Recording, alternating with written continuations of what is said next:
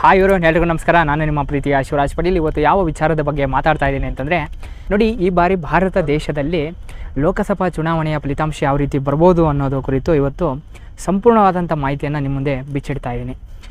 ನೋಡಿ, ಈ ಸರ್ವೆ, ಇದು ನಾನು ಮಾಡಿರುವಂಥ ಕೆಲವಿಷ್ಟು ಅಂಕಿಅಂಶಗಳನ್ನು ತೆಗೆದುಕೊಂಡ್ಬಿಟ್ಟು, ಅಲ್ಲಿರುವಂಥ ವಾಸ್ತವಿಕತೆಯನ್ನು ತೆಗೆದುಕೊಂಡ್ಬಿಟ್ಟು ಒಂದು ಸರ್ವೆಯನ್ನು ರೆಡಿ ಮಾಡಿದ್ದೀನಿ.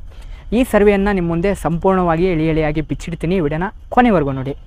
ನೋಡಿ, ಮೊದಲೇದಾಗಿ ನಾನು ಒಂಬತ್ತು ರಾಜ್ಯಗಳಲ್ಲಿ ಇಂಡಿಯಾ ಮೈತ್ರಿಕೂಟ ಎಷ್ಟು ಸ್ಥಾನಗಳನ್ನು ಗೆಲ್ಲಬೋದು ಅನ್ನೋ ವಿಚಾರ ಕುರಿತು ಇವತ್ತು ಈ ಸರ್ವೆ ಮಾಡಿರೋದು. ನೋಡಿ, ಮೊದಲೇದಾಗಿ ಬಿಹಾರ್ ರಾಜ್ಯ. ಇಲ್ಲಿ ಇಂಡಿಯಾ ಮೈತ್ರಿಕೂಟ ಮಿನಿಮಮ್ ಹದಿನೆಂಟು ಸ್ಥಾನಗಳನ್ನು ಗೆದ್ದೇ ಗೆಲ್ಲುತ್ತೆ ಅನ್ನೋದು ನನ್ನದೊಂದು ಸಮೀಕ್ಷೆ. ಇನ್ನು ಮಹಾರಾಷ್ಟ್ರ. ಇಲ್ಲಿ ಮೂವತ್ತೆಂಟು ಸ್ಥಾನಗಳನ್ನು ಮಿನಿಮಮ್ ಇಂಡಿಯಾ ಮೈತ್ರಿಕೂಟ ಗೆಲ್ಲುತ್ತೆ ಅನ್ನೋದು ನನ್ನ ಒಂದು ಅನಿಸಿಕೆಯ ಸರ್ವೆ. ಇನ್ನು ಉತ್ತರ ಪ್ರದೇಶ ಅಂತಂದರೆ ಈ ಬಾರಿ ಉತ್ತರ ಪ್ರದೇಶದಲ್ಲಿ ಮಿನಿಮಮ್ ಏನಿಲ್ಲ ಅಂತಂದರೂ ಮೂವತ್ತೆರಡು ಸ್ಥಾನಗಳನ್ನು ಇಂಡಿಯಾ ಮೈತ್ರಿಕೂಟ ಪಡೆದುಕೊಳ್ಳುತ್ತೆ ಅನ್ನೋದು ನನ್ನ ಒಂದು ಸರ್ವೆ. ಇನ್ನು ತೆಲಂಗಾಣ, ಇಲ್ಲಿ ಹದಿನೈದು ಸ್ಥಾನಗಳನ್ನು ಇಂಡಿಯಾ ಮೈತ್ರಿಕೂಟ ಪಡ್ಕೊಳ್ಳುತ್ತೆ. ಇನ್ನು ರಾಜಸ್ಥಾನ, ಇಲ್ಲಿ ಇಲ್ಲೂ ಸಹ ಬಿ ಜೆ ಪಿ ಅಡ್ಡ ಆದರೆ ಇಲ್ಲಿ ಈ ಬಾರಿ ಹದಿನೈದು ಸ್ಥಾನಗಳನ್ನು ಇಂಡಿಯಾ ಮೈತ್ರಿಕೂಟ ಪಡ್ಕೊಳ್ಳುತ್ತೆ ಅನ್ನೋದು ನನ್ನದೊಂದು ಸರ್ವೆ. ಇನ್ನು ವೆಸ್ಟ್ ಬೆಂಗಾಲು ಇಲ್ಲೂ ಸಹ ಮೂವತ್ತೆರಡು ಸ್ಥಾನಗಳನ್ನು ಪಡ್ಕೊಳ್ಳುತ್ತೆ ಈ ಬಾರಿ ಇಂಡಿಯಾ ಮೈತ್ರಿಕೂಟ ಅಂತ ನನ್ನದೊಂದು ಸರ್ವೆ.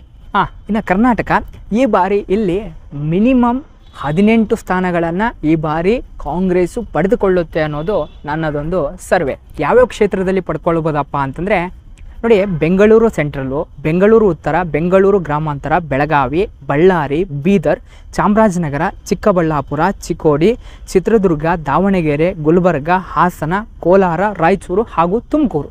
ಇವಿಷ್ಟು ಕ್ಷೇತ್ರಗಳಲ್ಲಿ ಈ ಬಾರಿ ಕಾಂಗ್ರೆಸ್ಸು ಗೆಲ್ಲುವಂಥ ಸಾಧ್ಯತೆ ಇದೆ ಅನ್ನೋದು ನನ್ನದೊಂದು ಸರ್ವೆ. ಇನ್ನು ಮುಂದಿನ ರಾಜ್ಯ ನೋಡೋದಾದರೆ ತಮಿಳುನಾಡು. ಇಲ್ಲಿ ಬಿಡಿ ಬಿ ಜೆ ಪಿ ಅಂತೂ ಒಂದು ಸೀಟು ಬರೋದಿಲ್ಲ. ಯಾಕಂತಂದರೆ ತಮಿಳುನಾಡು ಕಳೆದ ಲೋಕಸಭಾ ಚುನಾವಣೆಯಲ್ಲಿ ಕಂಪೇರ್ ಮಾಡಿದರೆ ಒಂದು ಸೀಟೂ ಸಹ ಗೆದ್ದಿಲ್ಲ. ಈ ಬಾರಿನೂ ಸಹ ಬಿ ಜೆ ಪಿ ಅಲ್ಲಿ ಒಂದು ಸೀಟನ್ನು ಸಹ ಪಡ್ಕೊಳ್ಳಲ್ಲ. ಅಲ್ಲೂ ಸಹ ಇಂಡಿಯಾ ಮೈತ್ರಿಕೂಟ ಮೂವತ್ತೊಂಬತ್ತು ಸ್ಥಾನಗಳಿಗೆ ಮೂವತ್ತೊಂಬತ್ತು ಸ್ಥಾನಗಳನ್ನು ಸಹ ಪಡ್ಕೊಳ್ಳುತ್ತೆ. ಇನ್ನು ಕೇರಳ ಅಲ್ಲೂ ಸಹ ಅಷ್ಟೇ. ಈ ಬಾರಿ ಇಪ್ಪತ್ತಕ್ಕೆ ಇಪ್ಪತ್ತು ಸ್ಥಾನಗಳನ್ನು ಸಹ ಇಂಡಿಯಾ ಮೈತ್ರಿಕೂಟ ಪಡೆದುಕೊಳ್ಳುತ್ತೆ. ಸೊ ಅಲ್ಲಿ ಬಿ ಜೆ ಪಿ ಒಂದು ಸ್ಥಾನನೂ ಸಹ ಈ ಬಾರಿ ಗೆಲ್ಲೋದಿಲ್ಲ. ಇದು ಒಂದು ನನ್ನ ಒಂದು ಸರ್ವೆ. ನೋಡಿ ಈ ಸರ್ವೆ ನಿಖರವಾಗಿಯೂ ಸಹ ಇರ್ಬೋದು ಅಥವಾ ಇಲ್ಲದೇನೂ ಸಹ ಇರ್ಬೋದು. ಇದು ನನ್ನ ಒಂದು ಅನಿಸಿಕೆಯ ಸರ್ವೆ.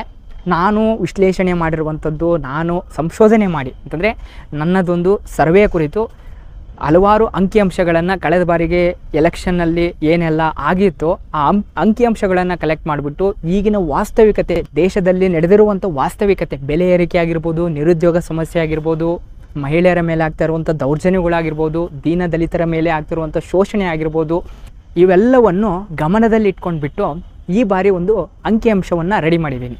ಈ ಅಂಕಿಅಂಶ ನಿಖರವಾಗಿಯೂ ಸಹ ಇರ್ಬೋದು ಇಲ್ಲದೇನೂ ಸಹ ಇರ್ಬೋದು, ಜೂನ್ ನಾಲ್ಕನೇ ತಾರೀಕುವರೆಗೂ ವೇಟ್ ಮಾಡಿ. ಜೂನ್ ನಾಲ್ಕನೇ ತಾರೀಕು ನಂತರ ನಿಖರವಾದಂಥ ಅಂಕಿಅಂಶ ನಮಗೆ ದೊರೆಯುತ್ತೆ. ತದನಂತರ ವಿಡಿಯೋ ಮಾಡೋದ್ರ ಮುಖಾಂತರ ಎಳೆ ಎಳೆಯಾಗಿ ಬಿಚ್ಚಿಡ್ತೀನಿ. ಓಕೆ ಅಲ್ಲಿವರೆಗೂ ಟೇಕ್ ಕೇರ್ ಖುಷಿ ಖುಷಿಯಿಂದ ರೀ ನಗ ನಗತಾ ಇರಿ ನಗಿಸ್ತಾ ಇರಿ ಮುಂದಿನ ವಿಡಿಯೋದಲ್ಲಿ ಮತ್ತೆ ಭೇಟಿಯಾಗೋಣ. ಅಲ್ಲಿವರೆಗೂ ಟೇಕ್ ಕೇರ್ ಎಲ್ರಿಗೂ ನಮಸ್ಕಾರ. ಜೈ ಕರ್ನಾಟಕ ಮಾತೆ. ನಮಸ್ಕಾರ.